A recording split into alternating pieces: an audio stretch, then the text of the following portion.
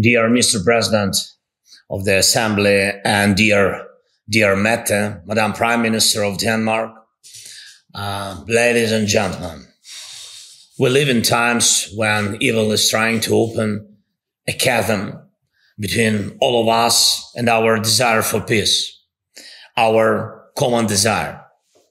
And this chasm is growing every day. It is deepened by terror and the more blood and pain there is in different parts of the world and the more countries are destabilized by evil and the more losses nations suffer and the more people find themselves in the midst of the rising tide of new of new migration and other crises the more difficult it will be to maintain international order a rules based order the only thing that can guarantee peace and serenity to all nations rules international law.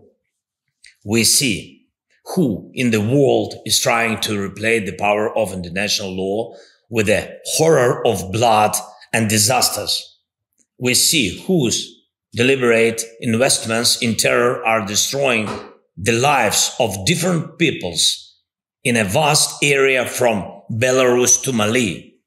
And we see these and we must act united. These days, our attention is focused on the Middle East. No one can ever forget what the terrorists did in Israel. Thousands of missiles against peaceful cities. Shooting people in cars on the roads, men, women, children. No one was spared. Streets covered in blood. Hostages. The terrorists themselves gave the world footage of the atrocities and were proud of them.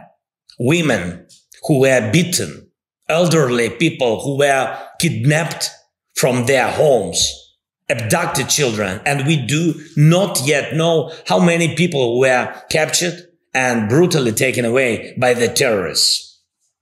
They even tried to humiliate the dead by mocking their bodies. And we saw all of this in Israel. And the Israelis themselves, Israeli journalists who were here in Ukraine, who were in Bucha, are, are now saying that they saw the same evil where, where Russia came the same evil. And the only difference is that there is a terrorist organization that attacked Israel. And here is a terrorist state that attacked Ukraine. The intentions declared are different, but the essence is the same. You see it. You see the same blood on the streets. You see the same civilian cars shot up you see the same bodies of people who have been tortured. And the most dangerous are, I think, two things. First, the shocking joy of state-backed Russian propagandists. Just imagine they call children who are now being held hostage by terrorists in Gaza as trophies. Such a word just as Russia has captured thousands of Ukrainian children during its aggression against Ukraine. And the second is backing of what is going on. Iran can't say it has nothing to do with what is going on in Ukraine if it sells Shaheds to Russia. Iran can't say it has nothing to do with what is going on in Israel if its officials claim the support of what is going on in Israel. Ladies and gentlemen, how far can such evil go? No further than, than we allow it to. Our unity must and can stop the evil. Our desire for peace, not their desire for blood, should determine how the world lives. Our rule-based international order, not their attempts to make death a rule.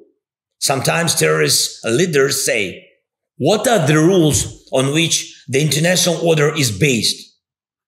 as if they do not understand. And these are very simple rules. Very simple. Do not rape women. Do not kill. Do not consider children as trophies. Do not fill cities and villages with blood. And do not shoot cars with civilians. Do not hit peaceful cities with missiles and drones. And one more rule, under any circumstances, we must bring to justice all terrorists and all those who help them. Isn't the power of the world enough to stop the evil? I'm sure it is. And now everyone in the world who values life and international peace needs to be as active as possible. This is not the time to withdraw from the international arena into internal disputes. This is not the time to isolate ourselves. This is not the time to remain silent or pretend that, that terror on one continent does not affect global affairs. Everyone can help prevent the chasm between the world and peace from widening. Europe should be active. The United States should be active. China, India, Arab states should feel how much can collapse if they allow terrorists to achieve their goals. Turkey, Brazil, and all of Latin America, Japan, Australia, Canada, African countries, Central Asian countries, Korea, Pakistan, Indonesia, the Caribbean, the Pacific states, everyone should be active in the defense of life and international law. We must not give terror a single chance. Ukraine is grateful to everyone who has supported, supported us in our defense against terror. And I thank every country, every, every leader, all the nations that are with us, with us. Those who help us with air defense and everything else. This is especially important now before the winter which Russia will try to make painful for us. And I thank all of you who are working with us to implement the peace formula. All areas of our cooperation lead to one thing, to ensure that the UN Charter is fully effective in protecting Ukraine and our entire Europe from terror and aggression. And if it works here, it will work anywhere in the world. If there are real global sanctions for any sponsorship of terror, terror will lose. If the world unites whenever someone takes women hostage and kidnap the children of another nation, terror will have no allies.